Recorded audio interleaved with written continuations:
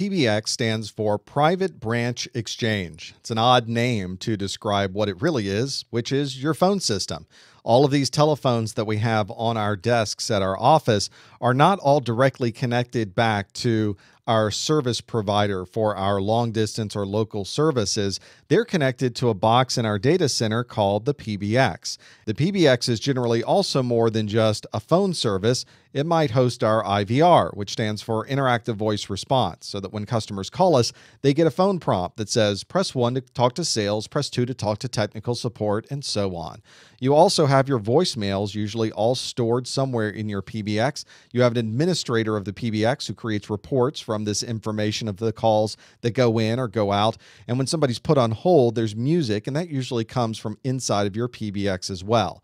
One thing that tends to be very common with a PBX is that it is so reliable. Your telephone system tends to be something we always count on. We can pick up the phone, always have a dial tone, and usually be able to talk to whoever we would like to. And when there's a problem with your PBX, you know when it's not working.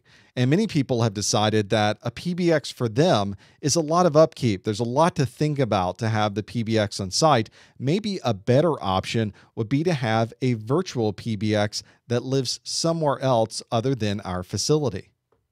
We're already putting our servers in the cloud, our networks in the cloud. It makes perfect sense to put our voice communications in the cloud as well.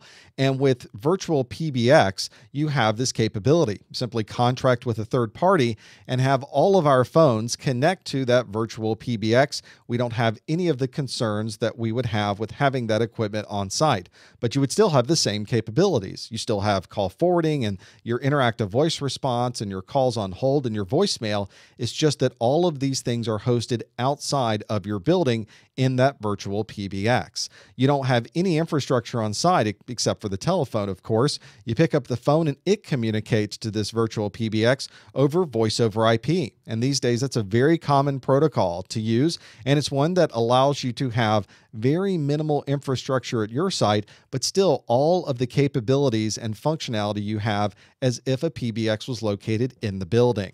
Now, you may need additional network configurations to make this happen. There's going to be an extra requirement for bandwidth because now all of your voice communication is going out of that connection. And you may have to think about quality of service. You don't want somebody who's surfing the net having any type of impact on the ability for you to hear or make phone calls. There may be a big cost savings associated with this because PBXs are not inexpensive. And the more your organization grows, the more that PBX will cost. So by having this provided at a third party, you can keep your costs low. You don't have to purchase any hardware to have any of this operate properly. Obviously, there's no power costs because that is all being hosted at a third party. And as your organization changes, if you get larger or you get smaller, it's very easy now to change exactly the way your telephone system is going to work.